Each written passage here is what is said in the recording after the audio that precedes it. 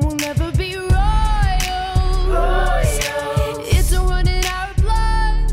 That kind of luck's just ain't for us. We crave a different kind of buzz. Let me be your ruler. You can call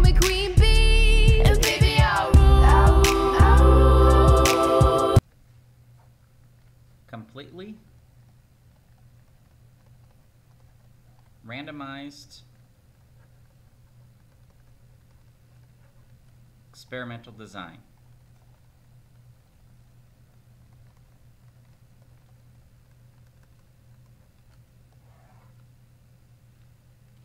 A farmer is designing a process to maximize his crop.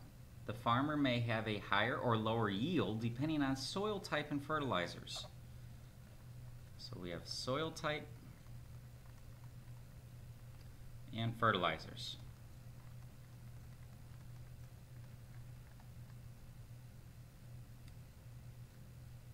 The farmer decides to investigate the effects of combination of three soil types. We have soil types A, B, and C, and two fertilizers, 5, 10, 12, and 12, 18, 20.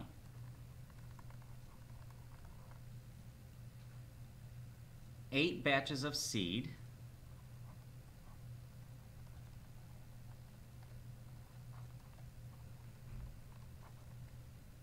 Will be processed at each combination of soil types and fertilizers.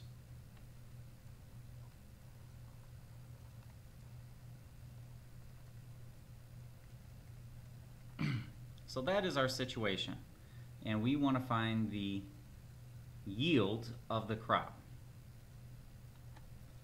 So number one, is this an experiment?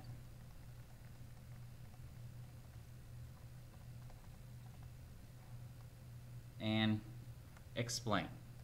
Yes, it is, because treatments are imposed.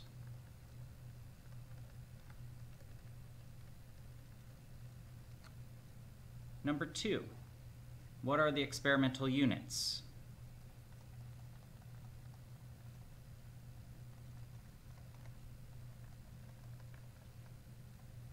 The experimental units are what you're testing on, and we're doing on batches of seed.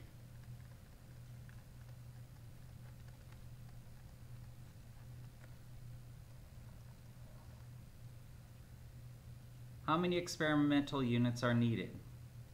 We're going to come back to number three here in a moment. I need eight batches times however many treatments.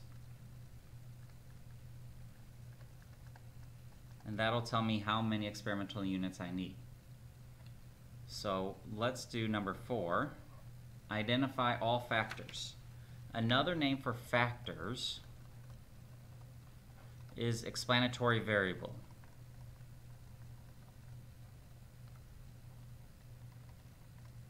And in this situation, you have two. You have soil type and fertilizer.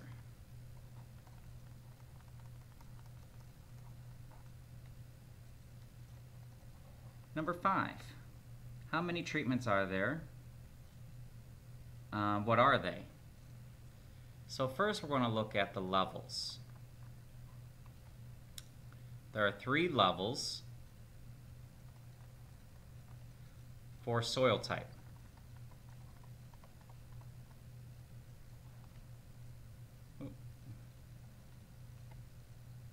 Which is A, B, and C.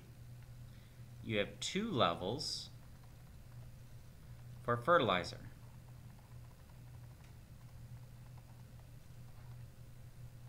which is 5, 10, 12, and 12, 18, 20.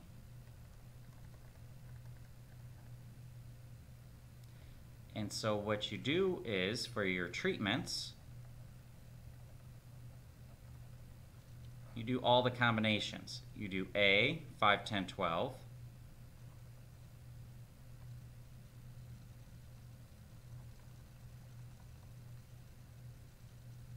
Okay, so that's 1.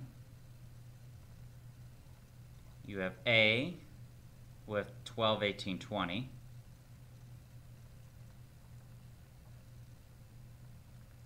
You have B with 5, 10, 12. You have B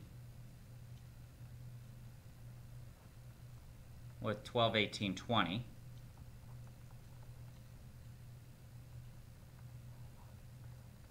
You have C with 5, 10, 12. Oop. And you have C with 12, 18, 20. So you have three levels for soil type, two levels for fertilizer. Those are your two factors.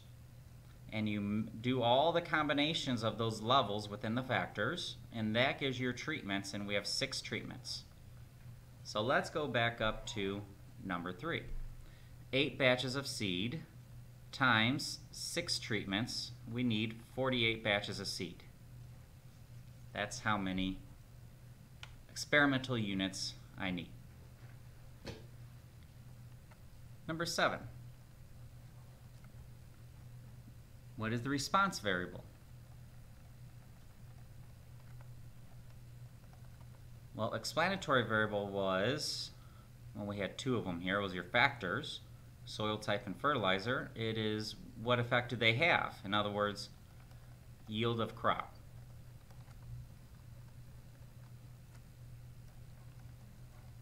Number eight, describe an experimental design. You start off with a random allocation of treatments. And you can go off into your three soil types. I have soil type A, B, and C.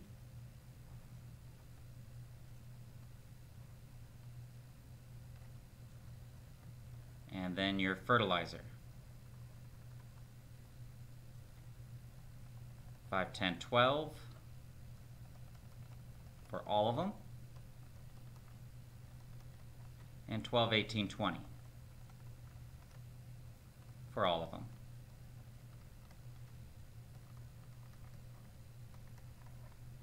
And all of these have eight batches of seeds. So I put my experimental units in parentheses here.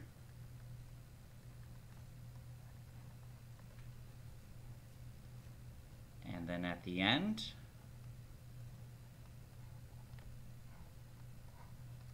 we measure and compare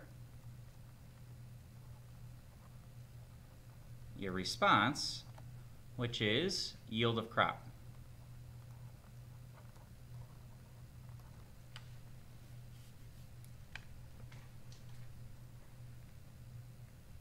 Then we put it in a sentence. Start off with 48 batches of seeds.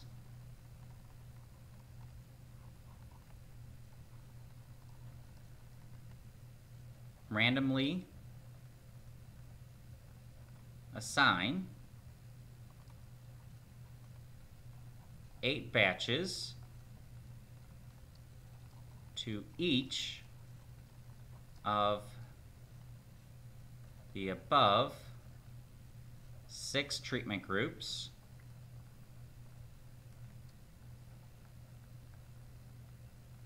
measure and compare yield of crop.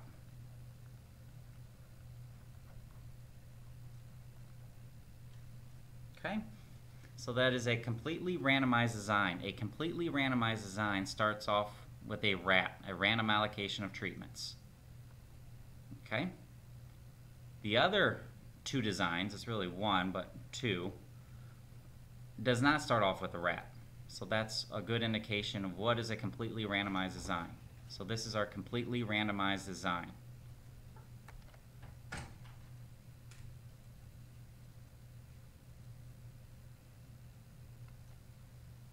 Number eight. suppose you have 723, it should say batches of seeds.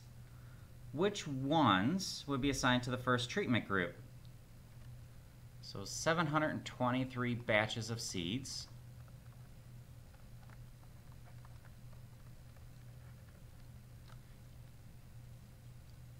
And we have eight batches for the first treatment group. So we're going to select eight three-digit numbers.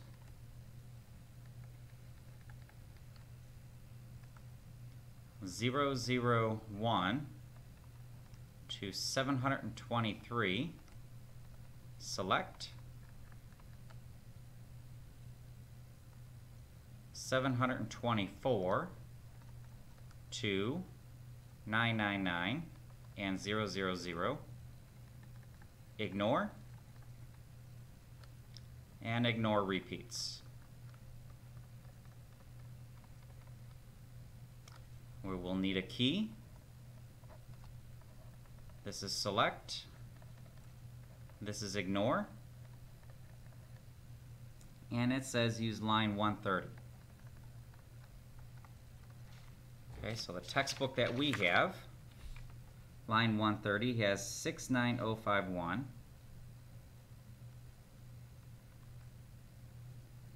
Six four eight one seven.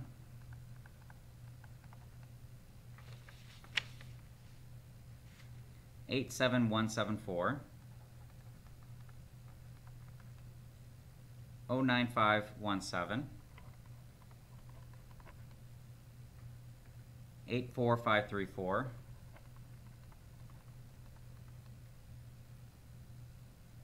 Oh six four eight nine. Oh, ran out of room. Oh six four eight nine. Eight seven two oh one. Nine seven two four five. So that's line 130. So three digit numbers. First three is 690. Where is 690? Oh, we select, so we circle. 516. So okay, I have 690.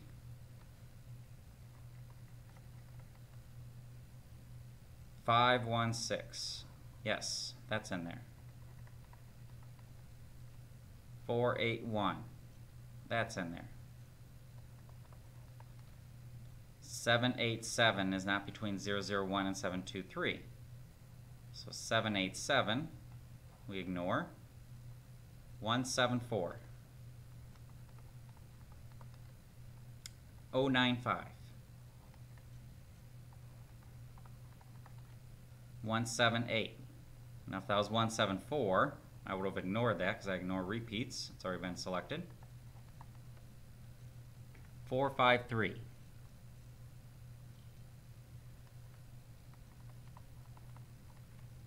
And 406. Those are my eight batches of seeds, and I put a stopping point there. Okay, not too bad. Just got to make sure you do all this explanation so anybody can read this and understand what's going on. Number nine, what type of an experiment is this? It is, okay, oh, type. There are three types. This is completely randomized design.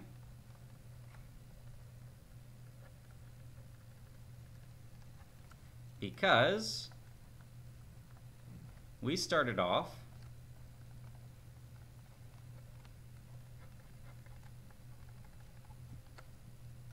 with an random allocation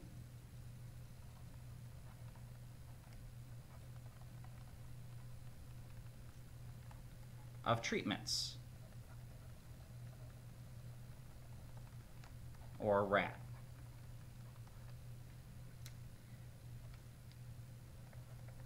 And did I have a control group?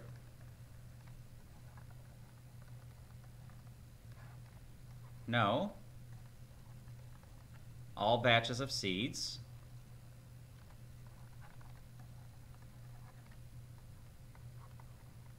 received a treatment.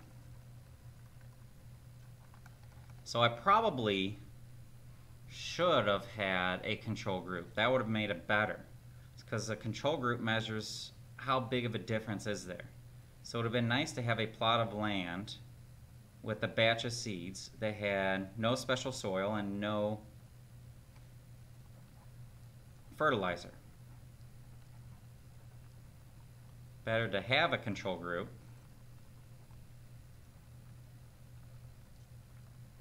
to measure actual differences.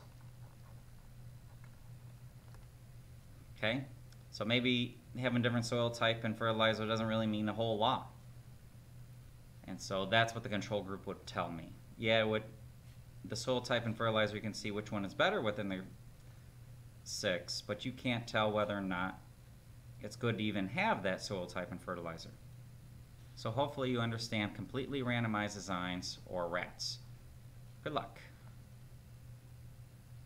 So you just looked at completely randomized designs or RAT designs, which always starts with a random allocation of treatments first and then branches off from there.